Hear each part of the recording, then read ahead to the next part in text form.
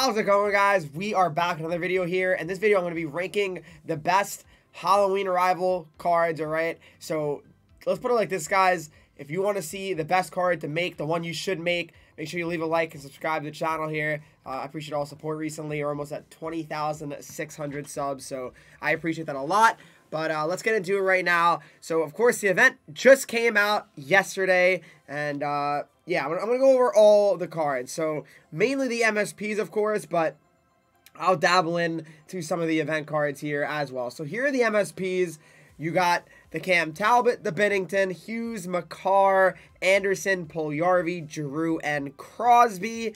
Then you also have the event cards, which is Lemieux, Tkachuk, Salo, Ekblad, Zetterberg, Grimson, McCarty, Kuemper, Boychuk, McDonagh, Suter, and Laraque. So those are some some decent cards right there. So definitely, uh, I'm going to rank them right now for you guys. Let's go into the collection. I'm going to go stat by stat, ability by ability to really help you understand which one you should choose if you can only make one, if you can make one at all. Some people can't make any. So here we go.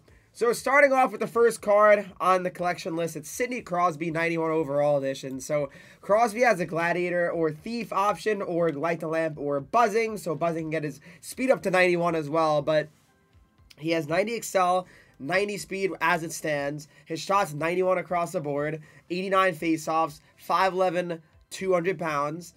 So he's got great hands, 94 deking, uh, his superstar ability is back at ya, which ability enables player to reverse hit opponents, maximize damage, and retain balance.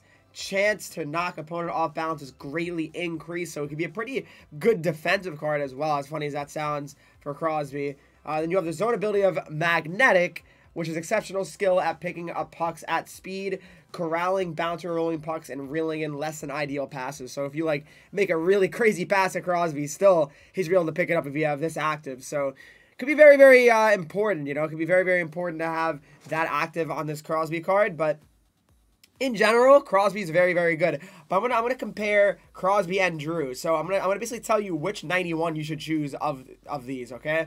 So now looking at Claude Giroux's 91 overall. So he has Protector, or booming shot, so helps with shot out, or gladiator or well-rounded, okay? Then he has a tape to tape superstar ability, which is advanced power and accuracy on all passes within vision. Passes will also auto saucer when necessary. Then you have the 1T zone ability, which is 10 ability points, which is quite a bit. But exceptional power and accuracy on one timers greatly increases ability to one time less than ideal passes. So, again, another one that's kind of similar to Crosby in terms of like you can really pass something kind of like a bad pass and make it still get a good shot off or pick up the puck. So um, definitely a good one. It's definitely a good zone ability, but 10 points is definitely very, very costly. But now the difference between Crosby and Giroux is if you look at his Excel and his speed, he's got 92 Excel, 92 speed. Even if Crosby does have buzzing active, still one speed slower. Same height. Uh, Crosby's about 15 pounds heavier, which you know, how important is that? I don't think it's incredibly important. Giroux's deking's at 96, so that's also very, very good. And tape to tape is a nice one. It's only three ability points as well. Back Atch is also similar, but, you know, when it comes to the, only three points. But Giroux has 94 face-offs, so Giroux has Giroux's faster, has a better shot, better face-offs, and I, I would say synergies are almost probably better. Booming shot can make his shot even better. So if you're choosing between Crosby and Giroux, I go with Giroux. I really think Giroux is the best one to select here. Of all the MSPs overall, if you're going to make these MSPs, I personally think that you should make Giroux. I, I really do think so. And if you don't make Giroux, I think it's going to be a regrettable decision. I, I really do. So, Claude Giroux, 91 overall edition is probably the best one, but I'm going to definitely still talk about the other cards and which ones you could potentially still make as well. But, uh, but between Giroux and Crosby, and I mean, Giroux and anyone else, I'd, I'd make Giroux, right? Anyway, let's move on to the next one. So Rasmus Andersson, 6'1", 214 uh, D-man with buzzing, gets up to 90 speed actually, 89 excel, 95 agility, 92 uh, balance, 92 endurance, 82, 92, 83, and 92 for his shot. Uh, it's either buzzing or wingman, so that can help his excel out, or light the lamp and magician. He has the Heat Seeker ability, which is advanced power when taking wrist slash snapshots from distance, so it can help create a lot more like you know juicy rebound stuff like that. So, you know, nice little uh, ability. Then he has the Bouncer one, which Bouncer is actually a really, really good one. It's a very good zone ability. It only costs four ability points, but also it's exceptional at battles around the net. Greatly increases stability, stick tension, and limb strength around the net.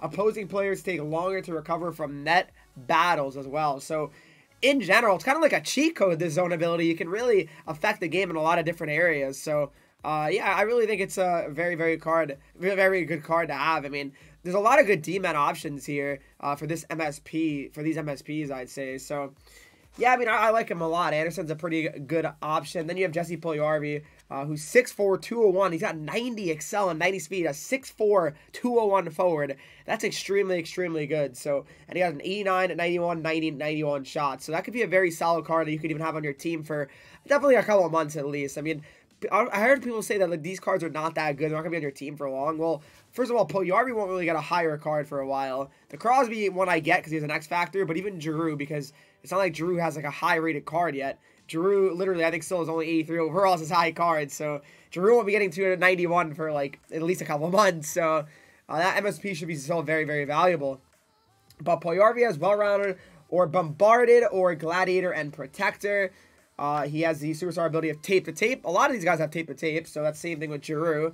Uh, his own ability is unstoppable force, so that's exceptional strength with the puck and a greatly increased ability to hold onto the puck when off balance. So hard to knock him off the puck, which is definitely always important. We all know that. Still very, very important. So, uh, yeah, I mean, great winger, I'd say. 6'4", 201.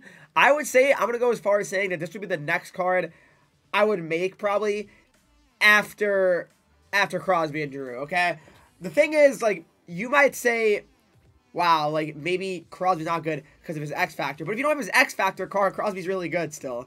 So, my logic, my logic is make this card if you can't make Giroux or Crosby, like you can't afford to, or like whatever card you have, is my logic. But uh, in general, I think that uh, this is a very, very good card. So let's move on to the next card, and that's Quinn Hughes. And he's another really, really exceptional card who's very fast. 92 excel, 92 speed, 86, 88, 86, and 88 for his shot. He has booming shot as well, uh, or light the lamp, or gladiator and protector. So his uh, superstar ability is Seeing Eye, which is advanced accuracy on shots when the goalie is screened. So like a nice, nice shots from the point can uh, really fool the goalie, and you get a lot of tips or just other in general, just good shots you know, towards the net, and it can really create a lot of good opportunities to score. Then his own ability is Spinorama, so if you want to do a lot of spins, you can pass out of it and shoot, and it'll be a lot more efficient with this active. So Quinn Hughes is a very, very good skater in real life, very, very good skater in HUT. So really, really cool card. So uh, yeah, 86, 88, 86, and 80 for his shot. Uh, 5'10", 170, yeah, it's a little bit sketchy, but Quinn Hughes is a good card. I have his base card right now, and I definitely like it a lot. I consider making this card, definitely. But, you know, again, I'm not sure how many I want to make for this event, so that's really what it comes down to as well. Uh, Quinn Hughes is a good one, though. Quinn Hughes is a good one. Then you have Cale Makar, 87 overall edition, 5'11", 187 Gladiator or Bombarded or Protector and Applesauce. Funny, funny name. I can't get over that still. He has 92 excel, 92 speed. Same thing as Quinn Hughes, 5'11", 187. So, uh, 86, 88, 85, and 87 for the shot. Uh, again, Makar. I, I talk about this guy all the time. He's just so, so good. I love Cale Makar's card in the game this year. So, definitely would be a really, really good one to make. If you don't have his MSP, if you don't have his MSP, you should try to make Makar, I would think. But, I mean, it's up to you. It depends. If you have his X Factor card, well, then there's no need. That's for sure. But I think Cale Makar is one of the better ones. Uh, definitely, if I was going to choose between him and Hughes, I would choose him. I would. I mean, it's righty-lefty, though, and I was going to choose between Makar and Andersson, I would still take Makar. He has Make It Snap as a superstar ability, and in reverse, which I can't read that unless I got a magnifying glass or a zoom in, zoom in ability on my video editing software. But uh, in general, yeah, Makar is uh, definitely the best D-man, I'd say, uh, from this event, in my opinion. You know, you can argue Andersson because of his uh, abilities, but I still wouldn't go that far. It's a little bit of a reach. Then you have the two goaltenders, which is Binnington, 6'1", 174 with distributor and fly the zone. Thief is the other one, and then he has X-ray as an ability, and zone ability as last stand, which is exceptional boost in reaction time and save ability on breakaways and penalty shots, which again, not that important unless you're giving up a lot of breakaways or you're facing a lot of penalty shots for whatever reason. If, if that's the case, you probably stop giving up breakaways and stop taking penalties, especially penalty shots. But in general, goalies I don't really, I'm not a big fan of making. I, I don't think goalies are very smart to make his aggression 75. Making goalies is always a very, very risky proposition, and I, I definitely don't re recommend it to you uh, to do often, unless it's like a, you know, so obvious you should make it like a Bishop or, a, you know, even Markstrom, I would say, is always usually good. Uh, then the other goalie, of course, is Cam Talbot, and he's the one that's more intriguing. He's 6'4", 196. He has Fly the Zone or Spark, and Booming Shots is other synergy. Superstar ability is No Timer, which is advanced ability and reaction when facing one-timers, which, again, one-timers are uh, definitely a very common goal score in this game still. Zone ability is Whirlwind, which is, provides a considerable energy boost for all skaters on the team, which one is not really that important. I wouldn't really activate this one if you had Tal, but I don't think it's that important. 72 aggression, so lower aggression as well than the Binnington. If I was going to choose between the two goalies, I would definitely go with Cam Talbot, though. Cam Talbot definitely is the better goalie uh, from these MSP cards. He's an inch, he's like three inches taller, uh, weighs more, plus uh, he has better synergies, I'd say. Uh, they're actually kind of similar. They both have fly. There's no, yeah, it's kind of probably Benedict has better synergies technically, but uh, either way, I would say that Talbot would be the, the goal to make if you're gonna make one, but I wouldn't go too crazy. And then looking at some of these other other event cards, I mean, honestly, Claude Lemieux's not that bad. Six foot, two fifteen, fly the zone, 88 speed. I actually say it's pretty good. I, I really do think so. So Claude Lemieux, uh, 88 speed is not bad with a you know pretty mid shot, but not bad either. So uh, I definitely think Lemieux's good. Zetterberg's also very good, a very underrated one. 87 excel, 87 speed, 87, 88, 87, and 87 for his shot. Zetterberg definitely is a good one to consider making for sure. Definitely like him. Uh, and then Kuemper could be intriguing as well. 6'5", 215 goalie, 73 aggression. Kuemper, I know was really good for me back in NHL 20, I want to say. So definitely, it just depends, you know. It, it just simply depends exactly uh, you know what you're looking for in a goalie, and he's probably not going to cost you too much either. So that's what makes it a little bit more intriguing and more valuable. But so the other ones are definitely not worth it, like Boychuk. These aren't really cards that I'd be getting excited for. Uh, McCarty, these aren't. Ekblad's okay, I mean, but I, I, wouldn't go crazy for him. Salo's, I'd think a bit too slow. Yeah, not, nothing really insane about him. But uh, basically, if I had to rank them like really quickly, I would make Giroux first. If, if, you could, I, I would make okay. Making Giroux and Crosby might be crazy because you don't want to want to make two 91s because it costs you a lot. Uh, I would probably make Giroux and either Puljujarvi or Giroux and Makar if you're on his X Factor. Uh, after that, then it just kind of gets you know all opinion based and how you feel. Uh, I, I think that they're all good. I mean, there's really not like many bad MSPs. I'd say. I think Giroux's the best one. I think Makar is the best D man. Uh, Puljujarvi is, is only the only winger, like, you know what I mean? Like, not really, like, he can't play center, that's for sure. Giroux and Crosby obviously can, but it all depends how you feel. You know, I mean, Giroux, Puljujarvi are good options. Hughes not bad either. I don't know. They're all really good, but I would definitely make Giroux first if you're to make one, and then either Puljujarvi or Makar, or maybe make Puljujarvi and Makar. I mean, listen, you don't have to make a 91 at all, but uh, if you're not to make any 91s, I'd make sure you definitely go after maybe you know Hughes and Makar because they're really really fast. It could be a really sick pair to use, or Puljujarvi and like Makar.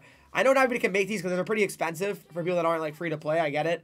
Uh, I definitely understand your pain. So uh, on PlayStation, I, I, I definitely spend money on Xbox, but not on PlayStation, so I understand that. But that's pretty much it, though, guys. Uh, that's that's what I think. Uh, hopefully it helps you out. Hopefully you decide helps you help decide better, you know, who you might want, who you want to make. But if you guys enjoyed this video, though, please leave a like, subscribe, new to the channel here. Follow me on Twitch, Henrique, Instagram, Twitter, TikTok, Henrique at 3Es, and join the Discord to talk to me, follows, and subscribers of the channel. As always, I'll see you all in the next video.